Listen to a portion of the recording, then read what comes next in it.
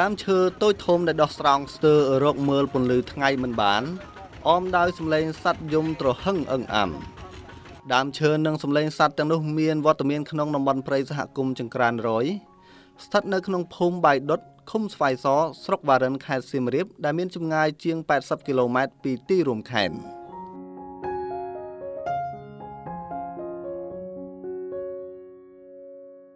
ព្រៃសហគមន៍នេះមានសក្តានុពលតំបន់ទេសចរធម្មជាតិជាច្រើនកន្លែង ដូចជាកន្លែងទឹកជ្រោះធ្លាក់កន្លែងមើលសត្វស្លាបកម្ររុងសត្វប្រជៀវទីតាំងថ្មរដេចរដប់ជាច្រើនដែលអ្នកភូមិហៅថាចង្ក្រានរយទីតាំងបាឡាំងស្ដាច់ព្រមទាំងកន្លែងមើលសមុទ្រឈើជាដើម សក្តានុពលទាំងនេះហើយទើបប្រជាសហគមន៍បានរៀបចំតំបន់នេះជាតំបន់អេកូទេសចរធម្មជាតិជាផ្លូវការកាលពីឆ្នាំ2017ក្រោមការជួយជ្រោមជ្រែងពីអង្គការកម្មវិធីផ្លាស់ប្តូរបទពិសោធន៍អនុផលព្រៃឈើកម្ពុជាឬហៅកាត់ថាអង្គការ NTSPEP ព្រមទាំងស្ថាប័នពាក់ព័ន្ធផ្សេងទៀតប្រធានព្រៃសហគមន៍ចង្ក្រានរយអ្នកស្រីឈឿនសុឌីមានប្រសាសន៍ថា តំបន់ព្រៃសហគមន៍នេះត្រូវបានបង្កើតជាតំបន់អេកូទេសចរនៅឆ្នាំ2017គឺពីឆ្នាំក្រោយបន្ទាប់ពីអ្នកស្រីឡើងជាប្រធានគណៈកម្មការព្រៃសហគមន៍នេះកាលពីឆ្នាំ2015អ្នកស្រីបានលើកឡើងថាតំបន់ព្រៃសហគមន៍ចង្ក្រានរយមានទីតាំងសក្តានុពលទេសចរធម្មជាតិជាង40កន្លែងដោយអ្នកស្រីប្រាប់អំពីមូលហេតុដែលអ្នកស្រីរៀបចំតំបន់នេះជាតំបន់អេកូទេសចរយ៉ាងដូចនេះថាទី1គឺកាលលើឆ្នាំ 2011នោះគឺយើងបានធ្វើការជាមួយអង្គការ SI យើងធ្វើទៅគាត់បានបញ្ជូនឲ្យអ្នកខ្ញុំទៅទស្សនកិច្ចនៅហ្វីលីពីនបាទអឺបញ្ជូនទៅដើម្បីឲ្យយើងបង្កើតជាសហគមន៍ដល់ពេលនោះទៅយើងទៅទៅយើងដើរលេងទៅយើងឃើញកលែងសហគមន៍របស់គេមានព្រៃឈើដូចយើងហើយមានទឹកធ្លាក់តូចទេតែគេអភិរក្សគេលំអរបស់គេឲ្យคล้ายទៅជាអេកូទេសចរដែលដែលយើងធ្វើតាកទៀងទៅឃើញគេរលួយបានរាប់ម៉ឺនដល់ពេលអញ្ចឹងខ្ញុំមានចំណាប់អារម្មណ៍មួយ នៅពេលលោកអ្នកនាងបានចូលដល់ក្នុងព្រៃសហគមន៍ពួកគេក៏បានឮអំពីសម្លេងសត្វយំព្រមទាំងបានឃើញអំពីទស្សនវិជ្ជានៅក្នុងព្រៃអមដោយដើមឈើតូចធំលើពីនេះភ្ញៀវទេសចរអាចស្នាក់នៅក្នុងតង់ឬផ្ទះសហគមន៍ព្រមទាំងអាចធ្វើដំណើរដោយគោយន្តឆ្នៃដើម្បីបានទៅកាន់ទីតាំងកំសាន្តជាច្រើននៅក្នុងព្រៃនោះភ្ញៀវទេសចរក៏អាចភ្លក់រសជាតិម្ហូបអាហារពិសេសមុខម្ហូបប្រចាំត្រកូលរបស់សហគមន៍គឺស្លទំពាំងវ៉ាយាវ ហើយភ្ញៀវដែលស្នាក់នៅពេលយប់អាចដុតដំឡូងដុតចេកអមដោយសម្លេងសត្វយំបណ្ដើព្រមទាំងបានស្វែងយល់អំពីជីវិតប្រជាសហគមន៍ជំវិញការងារចុះល្បាតព្រៃថែមទៀតផងអ្នកស្រីសុកឌីបានលើកឡើងថានៅពេលដែលសហគមន៍នេះបានរៀបចំជាតំបន់អេកូទេសចរបានផ្ដល់ផលប្រយោជន៍ជាច្រើនដល់សហគមន៍ដូចជាពលរដ្ឋអាចរកចំណូលពីភ្ញៀវទៅលេងកម្សាន្ត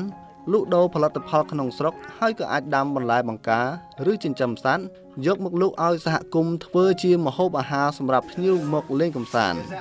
លើពីនេះអាចជួយការពារព្រៃឈើនិងសត្វព្រៃនៅតំបន់នោះឲ្យបានគង់វង្សបញ្ជាពីការកាប់បំផ្លាញផ្សេងផ្សេងព្រមទាំងអាចធ្វើឲ្យពលរដ្ឋបន្សំខ្លួនទៅនឹងបំរែបំរួលអាកាសធាតុនៅពេលដែលមានបញ្ហាដោយគ្រោះធម្មជាតិផ្សេងផ្សេងកើតមានឡើងរាល់ថ្ងៃនេះគឺប្រជាពលរដ្ឋគាត់ទទួលបាន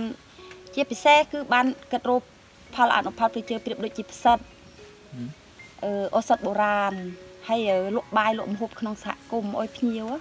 ហើយយើងបានសេវាកម្មពីភ្ញៀវមើលសត្វចាយើងបានសេវាកម្មភ្ញៀវយើងបានសេវាកម្មពីភ្ញៀវចូលទស្សនាក្នុងសហគមន៍យើងបងជាកញ្ចប់ចាបងជាការបដិភិអភិវឌ្ឍព្រៃឈើចាប្រជាសហគមន៍មួយរូបមានវ័យជាង50ឆ្នាំដែលតែងនាំភ្ញៀវទៅលេងកម្សាន្តនិងចុះល្បាតព្រៃនៅក្នុងព្រៃសហគមន៍ចង្ក្រានរយជាប្រចាំនោះ លោកម៉ាត់ដុងមានប្រសាសន៍ថាលោកពេញចិត្តនឹងការងារការពារព្រៃសហគមន៍មួយនេះហើយលោកក៏អាចរកចំណូលបានខ្លះដែរពីប្រយោជន៍ឈើនេះមានច្រើនវាមានវាមានកាសទៀតជាច្រើនហើយមានការពារយើងសារស្រូបទឹកភ្លេងវាអាចវាវានៅទៅមុខទៀតព្រៃសហគមន៍ចង្ក្រានរយមានទំហំជិត10000ហិកតាត្រូវបានបង្កើតឡើងកាលពីឆ្នាំ2000 ហើយនៅឆ្នាំ2010ក៏មានការទទួលស្គាល់ពីអាជ្ញាធរមូលដ្ឋាននិងខាងរដ្ឋបាលព្រៃឈើក្រោយមកនៅឆ្នាំ2015ព្រៃសហគមន៍នេះត្រូវបានទទួលស្គាល់ជាផ្លូវការពីក្រសួងកសិកម្មរុក្ខាប្រមាញ់និងនេសាទ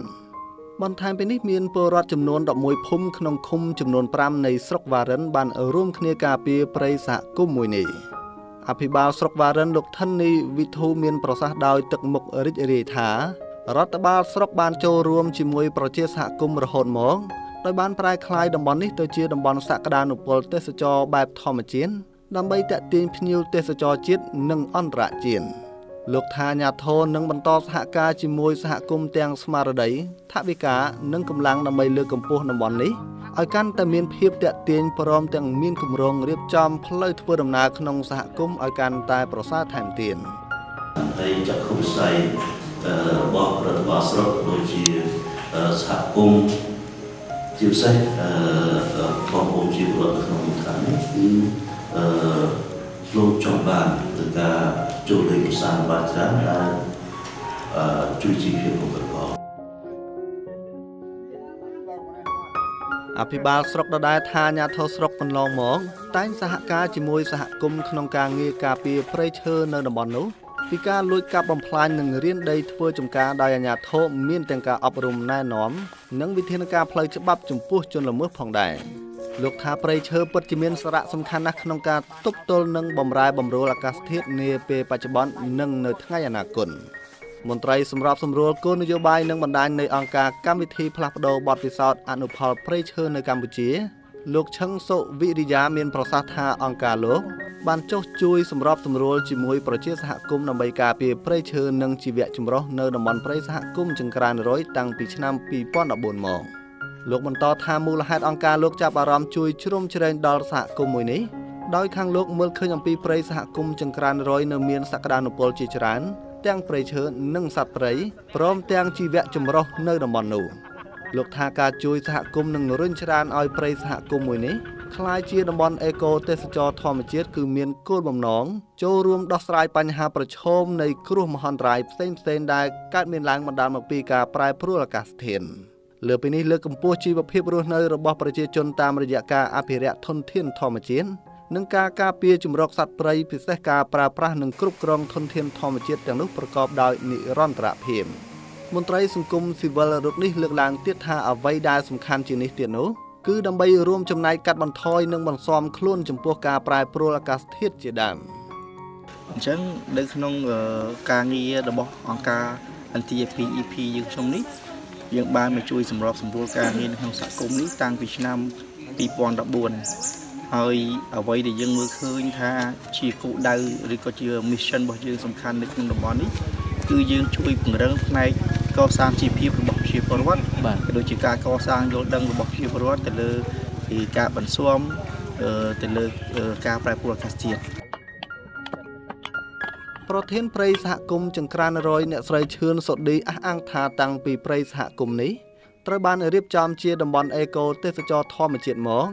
គឺមានភ្ញៀវជាតិនិងអន្តរជាតិមកលេងកម្សាន្តជាច្រើនពិសេសនៅរដូវវស្សាដែលមានទឹកជ្រោះធ្លាក់សម្រាប់លេងកម្សាន្តហើយសម្រស់ធម្មជាតិក៏កាន់តែស្រស់ស្អាត